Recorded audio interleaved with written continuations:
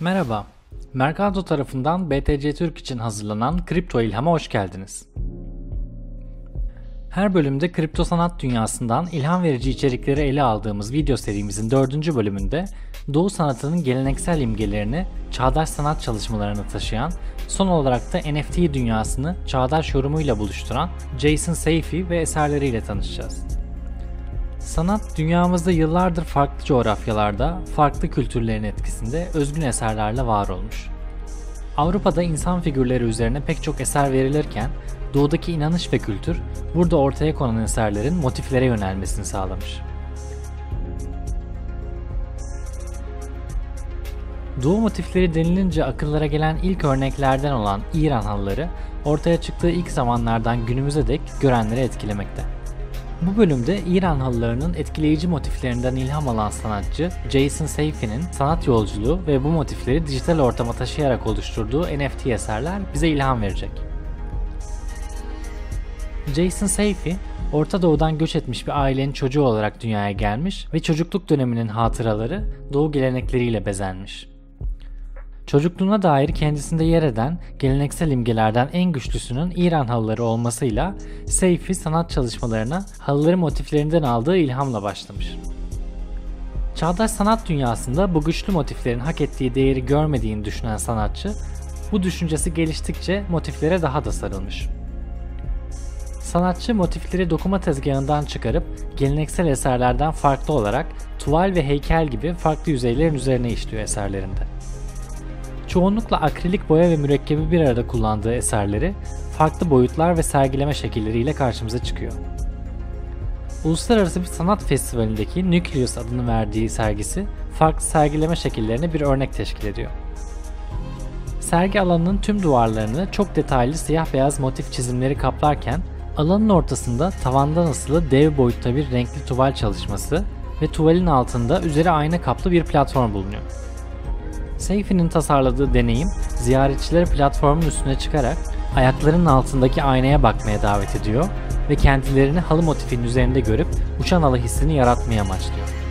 Sanatın üretim sürecini kendisi için bir terapi olarak tanımlayan sanatçı, detay çizimlerinin kendisinde meditatif bir etkisi olduğunu belirtiyor. Kullandığı renkleri üretim esnasındaki ruh haliyle paralel seçen Seyfi, Tüm bu nedenlerden dolayı çalışmalarının geleneksel halıların günümüz temsili olarak görünse de aslında fazlasıyla kişisel eserler olduğunu vurguluyor.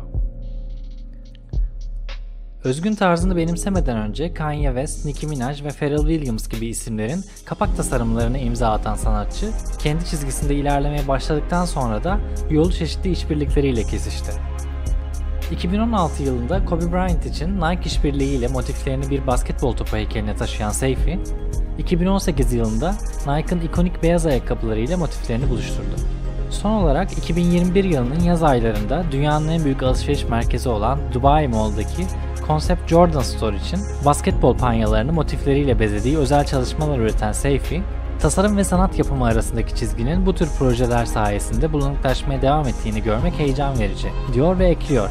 Benim gibi sanatçılar ve Jordan markası bir araya geldiğinde sanatın yanı sıra ürünleri de öne çıkaran mağaza içi deneyimler yaratabilir ve sanat eseri ilham ve ürün mükemmelliği arasındaki bu harika ilişkiyi birleştirmeye yardımcı olabiliriz. Geleneksel çağdaş sanat dünyasıyla bir araya getiren sanatçının NFT dünyasına adım atması da bir sürpriz olmadı ve 2021 yılının başlarında sanatsal vizyonun yeniden doğuşuna ithafen ilk NFT çalışmalarını Rebirth isminde bir seri olarak tanıttı. Çalışmaların ortaya çıkışından Alan Radcliffe'e verdiği röportajda şu şekilde bahsediyor Seyfi. Mevcut bir tabloyu fotoğraflamak veya taramak yerine resimlerimin aynı kök imgelerinden onları boyanın kendi başına yapamayacağı bir düzeye ve anlama götürecek yeni çalışmalar yaratmak istedim. Dediği gibi Rebirth serisindeki eserler motiflerinin canlandığı animasyon çalışmalarından oluşuyor. Seyfi ilk NFT çalışmalarıyla aldığı pozitif geri dönüşlerin ardından The Trophy Room adındaki son kripto sanat eserini duyurdu. Yine bir animasyon olan bu eserin temasını sanatçının geçmiş yıllarda işbirliklerine imza attığı basketbol oluşturuyor. Eserde beyaz bir dijital ortamda ikonikleşen figürleri taşıyan basketbol potaları ve toplarının çeşitli animasyonlarına yer verilmiş. dijital NFT dünyasının fiziksel sanat eserleriyle desteklenmesine bir örnek oluşturacak şekilde bu eserin belirlenen özel edisyonlarını satın alanlara eserde görünen basketbol toplarının fiziksel versiyonları teslim ediliyor. Jason Safety'nin kültüründen aldığı ilhamla ortaya koyduğu fark yaratan eserleri ve NFT dünyasında keşfe çıktığı yeni dijital kimliği umarız size de ilham vermiştir. Bir sonraki bölümde kripto sanat dünyasından ilham verici yepyeni bir içerikle yeniden görüşmek üzere.